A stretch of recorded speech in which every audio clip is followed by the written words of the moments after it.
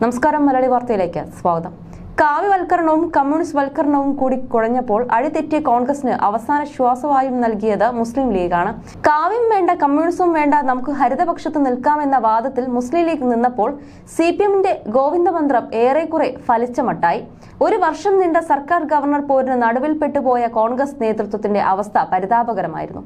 കുടയില്ലാതെ പെരുമഴയത്ത് അകപ്പെട്ടുപോയ കുട്ടിയുടെ അവസ്ഥയിൽ നിന്ന് അവരെ പിടിച്ചു കയറ്റിയത് ചാൻസലറായി ജഡ്ജി വേണമെന്ന വാദമായി. റിട്ടയർഡ് ഹൈക്കോടതി അല്ലെങ്കിൽ സുപ്രീം കോടതി ജഡ്ജിമാരിൽ ആരെയെങ്കിലും മുഴുവൻ സർവകലാശാലകളുടെയും ചാൻസലർ സ്ഥാനത്തേക്ക് കൊണ്ടുവരണമെന്ന് ആവശ്യപ്പെട്ടുകൊണ്ട് അവർ സഭ ബഹിഷ്കരിക്കുകയും ചെയ്തു. ഗവർണറെ ചാൻസലർ സ്ഥാനത്ത് നിന്ന് മാറ്റാനുള്ള ബില്ല് നിയമസഭയിൽ അവതരിപ്പിക്കുന്ന സമയത്തോ ചർച്ചയുടെ നേരത്തെ മുഖ്യമന്ത്രി പിണറായി വിജയൻ സഭയിൽ ഇല്ലാതിരുന്നുവെന്നത് ശ്രദ്ധേയമാണ്. സർക്കാരിന്റെ അഭിമാനത്തിന് ഏറെ ക്ഷതം വരുത്തിയ വിഷയത്തിന് ഒരു പരിഹാരം കാണാനുള്ള ബില്ല് അവതരണവും ചർച്ചയും മുഖ്യമന്ത്രി ഒഴിവാക്കിയത് എന്തിനെന്ന ചോദ്യവും ഉയരുകയാണ്. ബില്ലിന്റെ ആദ്യ അവസാനം വരെയുള്ള ചർച്ചയിൽ പ്രതിപക്ഷത്തിനോട് ഏറ്റുമുട്ടി നിന്നത് മന്ത്രി പി രാജീവാണ്. പി രാജീവിന്റെ ഇടപെടലിലൂടെ പ്രതിപക്ഷം പെട്ടെന്ന് സഭ ബഹിഷ്കരിച്ചു പോയതുകൊണ്ട് ഒന്നര മണിക്കൂറിനുള്ളിൽ ബിൽ സഭ പാസാക്കി പിരിയുകയും ചെയ്തു. ബില്ലിനെ തള്ളാനും കൊള്ളാനും വയ്യാത്ത അവസ്ഥയിൽ നിന്ന് തടിയൂരിയെങ്കിലും മർമ്മപ്രധാനമായ കാര്യം അവിടെ തന്നെ കിടക്കുകയാണ്. ചാൻസലർ സ്ഥാനത്ത് നിന്ന് ഗവർണറെ മാറ്റുന്നതിന് പ്രതിപക്ഷത്തിനും എതിർപ്പില്ലായിരുന്നു. എന്നാൽ പകരം സംവിധാനത്തിലാണ് അവരുടെ സംശയവും അഭിപ്രായവും ഉയർന്നു വന്നത്. സർക്കാരിനോടൊപ്പം ഗവർണറെ ചേർക്കുക ഗവർണർക്കൊപ്പം സർക്കാരിനെയും ചേർക്കുക ഗവർണറെ ചാൻസലർ സ്ഥാനത്ത് നിന്ന് മാറ്റാൻ സർക്കാരുമായി കൈകോർക്കുക എന്നാൽ അതിനുള്ള ബില്ലിനെ തട്ടിക്കളയുക സർക്കാർ ഗവർണർ പോരിൽ വൈരുദ്ധ്യങ്ങളുടെ കെണിയിൽപ്പെട്ടുപോയ പ്രതിപക്ഷം അവസാനം വിരമിച്ച ജഡ്ജിയെ ചാൻസലറാക്കണമെന്ന വാദം ഉന്നയിച്ച് എല്ലാ ഊരാക്കൊടുക്കുകളിൽ നിന്നും തൽക്കാലത്തേക്ക് തലയൂരി. ഗവർണർ കയറി അങ്ങ് ഭരിക്കുന്നത് നല്ല കാര്യമല്ലെന്ന ലീഗ് നിലപാട് ഇടതുപക്ഷത്തിന് ഏറെ ഇഷ്ടപ്പെട്ടു. അൻപത്തിമൂന്ന് വർഷം വർഗീയ പാർട്ടിയായിരുന്ന ലീഗ് പെട്ടെന്നൊരു ദിവസം വർഗീയ പാർട്ടിയല്ലാതായെന്ന് സി പി എം മനസ്സിലാക്കി കളഞ്ഞതാണ് കേരള രാഷ്ട്രീയത്തിലുണ്ടായ അടുത്ത കാലത്തെ ഏറ്റവും വലിയ തമാശ. അതും സി പി എം സംസ്ഥാന സെക്രട്ടറി എം വി ഗോവിന്ദനാണ് മഹത്തായ കണ്ടുപിടുത്തം നടത്തിയതെന്നും ഏറെ ശ്രദ്ധേയമാണ്. എന്നാൽ ബില്ല് നിയമസഭ പാസാക്കിയെങ്കിലും ഗവർണർ ഒപ്പിടില്ലെന്നാണ് അറിയുന്നത്. ബില്ല് രാഷ്ട്രപതിക്ക് അയക്കുമെന്ന് നേരത്തെ ഗവർണർ ആരിഫ് മുഹമ്മദ് ഖാൻ സൂചിപ്പിച്ചിരുന്നു. തന്റെ അധികാരം എടുത്തു കളയാനുള്ള ബില്ലിൽ ഒപ്പിടില്ലെന്ന് നേരത്തെ വ്യക്തമാക്കിയിരുന്നു. ബില്ല് രാഷ്ട്രപതിക്ക് അയച്ചാൽ കാലതാമസം ഉണ്ടാവുകയും കേരളത്തിന്റെ സർവകലാശാല രംഗത്ത് തികഞ്ഞ അനിശ്ചിതത്വം ഉണ്ടാവുകയും ചെയ്യുമെന്നും വിലയിരുത്തപ്പെടുന്നു.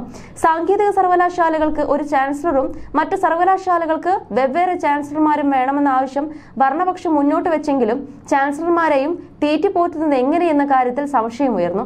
കാറും വീടും സൗകര്യങ്ങളും സ്റ്റാഫും ഒക്കെയായി വെള്ളാനകളുടെ നാടായി സർവകലാശാലകൾ മാറുമെന്ന കണക്കുകൂട്ടൽ ശരിയാണെന്ന് എല്ലാവർക്കും തോന്നി. സർവകലാശാലകളിലെ പ്രശ്നങ്ങൾ പ്രതിപക്ഷം എതിർത്തുകൊള്ളാം. മറ്റൊരു പ്രതിപക്ഷ കേന്ദ്രമായി ഗവർണർ വരേണ്ടതില്ലെന്നാണ് മുസ്ലിം ലീഗ് തുറന്നടിച്ചത്. വിരമിച്ച ജഡ്ജിയെ നിയമിക്കണമെന്ന ആവശ്യം ഉന്നയിച്ച് പ്രതിപക്ഷം സഭ വിട്ടിറങ്ങിയതോടെ ബില്ല് ഔദ്യോഗികമായി പാസാക്കി. എന്നാൽ ബില്ലിന്റെ പാസാക്കൽ കൊണ്ട് മാത്രം കാര്യമില്ലെന്നും ഗവർണർ ബില്ലിൽ ഒപ്പിടാൻ സന്നദ്ധ കാണിക്കണമെന്നും എല്ലാവർക്കും അറിയാം.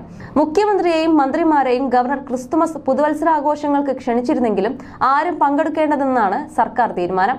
പൊതുജന മധ്യത്തിൽ സർക്കാരിനെയും മുഖ്യമന്ത്രിയെയും ഇത്രയേറെ അപമാനിച്ചിട്ട് അദ്ദേഹത്തിന്റെ വിരുന്നിൽ പങ്കെടുത്താൽ അത് വിപരീത ഫലമുണ്ടാക്കുമെന്നാണ് സർക്കാരിന്റെ കണക്കുകൂട്ടൽ. ഈ സാഹചര്യത്തിൽ ഗവർണർ കാര്യങ്ങൾക്ക് എന്ത് തീരുമാനമെടുക്കുമെന്ന് കണ്ടറിയേണ്ടതുണ്ട്. സുപ്രീം കോടതി നിർദ്ദേശപ്രകാരം ബി സിമാർ രാജിവെക്കാൻ ഗവർണർ നിർദ്ദേശം നൽകിയിരുന്നു. ¿no? സാങ്കേതിക സർവകലാശാല ഫിഷറീസ് സർവകലാശാല വി സിമാരാണ് ഇത്തരത്തിൽ രാജിവെച്ചത്. സാങ്കേതിക സർവകലാശാലയിൽ ഗവർണർ നിയമിച്ച താൽക്കാലിക വി സിക്കെതിരെ സർക്കാർ കോടതിയെ സമീപിച്ചെങ്കിലും ഗവർണറുടെ നിലപാടിനെ അംഗീകരിക്കുകയായിരുന്നു. കുഴഞ്ഞു മറിഞ്ഞ രാഷ്ട്രീയ അന്തരീക്ഷത്തിൽ കേരളത്തിലെ സർവകലാശാലകളിലെ പഠനം ഉപേക്ഷിച്ച് മറ്റു നാടുകളിലേക്ക് പോകുന്നവരുടെ എണ്ണം കൂടി വരുന്നതായാണ് കണക്കാക്കുന്നത്. നിയമസഭയിൽ പാസാക്കിയ ബില്ല് ഗവർണർ ഒപ്പുവയ്ക്കുന്നതോടെ മന്ത്രിമാർ ഇനി രണ്ടാം തരക്കാരായി മാറും. വിദ്യാഭ്യാസ ഉന്നത വിദ്യാഭ്യാസ മേഖലയിലെ സ്റ്റേറ്റിലെ ഒന്നാമൻ ഇനി മന്ത്രിയല്ല വൈസ് ചാൻസലർമാരായി മാറുന്നു. വിദ്യാഭ്യാസ മേഖലയിലെ വിദഗ്ധരെ ചാൻസലർ സ്ഥാനത്തേക്ക് കൊണ്ടുവരാനാണ് സർക്കാർ തയ്യാറായിരിക്കുന്ന ബില്ലിൽ പറയുന്നത്. അതനുസരിച്ച് ചാൻസലർ സ്ഥാനത്തേക്ക് ഗവർണർക്ക് പകരം പുറത്തുനിന്നൊരാൾ വരുമ്പോൾ വകുപ്പ് മന്ത്രി പ്രോ വൈസ് ചാൻസലറായി മാറുകയും ചെയ്യും.